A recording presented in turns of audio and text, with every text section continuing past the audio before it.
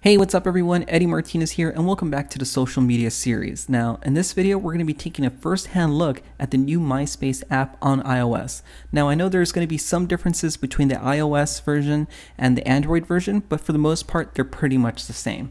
So let's go ahead and check it out. Uh, first thing you're going to want to do is go to the App Store and of course download it. So I already did a search earlier, as you can see right here. Uh, all I need to do is uh, open it, since I already downloaded it earlier. So right now we're looking at the, uh, I guess the, the login page. So all we need to do is just sign in.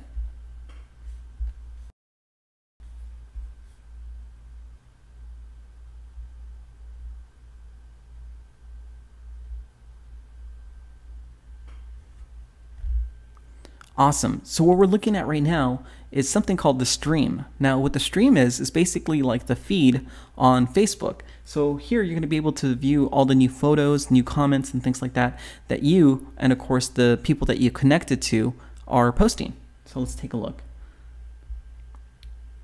So you can see there's photos and uh, we have just uh, different activities from, you know, going on from different users here. Awesome. Now another thing you might notice is this down here, uh, this little plus symbol with a circle around it. Essentially what this is, it, it, allows you to go ahead and get to your music, so to your radio stations. Not only just yours, you can create one, or you can go ahead and uh, listen to what other users are making uh, with the radio station. So let's check it out.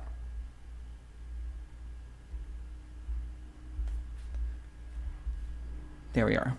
So by moving that up, you're able to access uh, your radio player.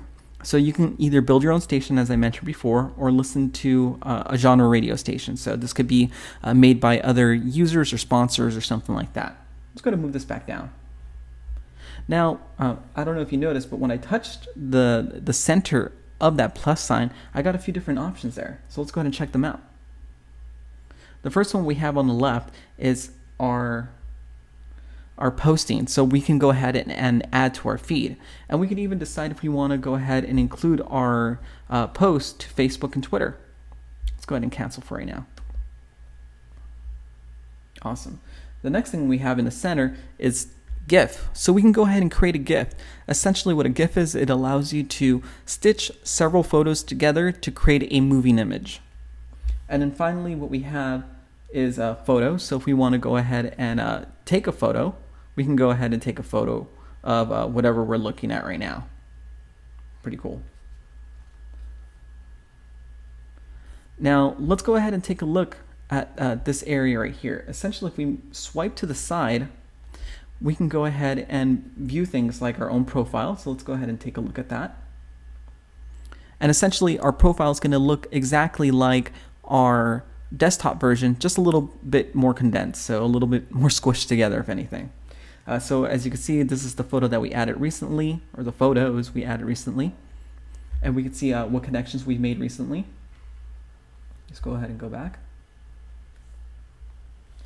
Uh, we could even view some of our posts and and things like that. So any any anything going on with our own personal page. Let's go go ahead and go back. Uh, and the other thing that we've seen already was a stream. So we've already seen this page already. It's what people are posting. Let's go back. Next, what we have is our notification. So our notifications are going to be anything like uh, people posting comments to us or messages or anything like that. That'll all show up right here in the notification area. You have different, um, I guess, categories as well. So just general and uh, people connections as well. So you could choose from those two options. Let's go ahead and move back. Now, what we're looking at is messages. So if I was messaging back and forth with people, you would see that there. Uh, so I haven't done any of that just yet. Another area that we have right below that is something called Discover. So we can go ahead and find new people to add. And again, it's kind of like the, the desktop app where you're able to categorize how you want to find people. So I'm just going to go, go ahead and hit start. And I could start finding people right away. Uh, what's great about how they set this up is that you could see right here at the top how they put how close they are to you, if you're connected with them already, what type of profile they have, which is a, a fan, and also you could see what they have uh, going on on their, I guess, their background. So if we would click on this person's page to view their profile, we'll see that she has the Michael Jackson background. Okay, let's go ahead and go back. Next thing what we have here is our radio. So from here we can choose from different stations if we wanted to go ahead and do that. So I'm going to go ahead and select this uh, Ellie Goulding right here. And of course I can uh, connect with her. And I can also check out what music she's listening to by hitting this button right here at the very top.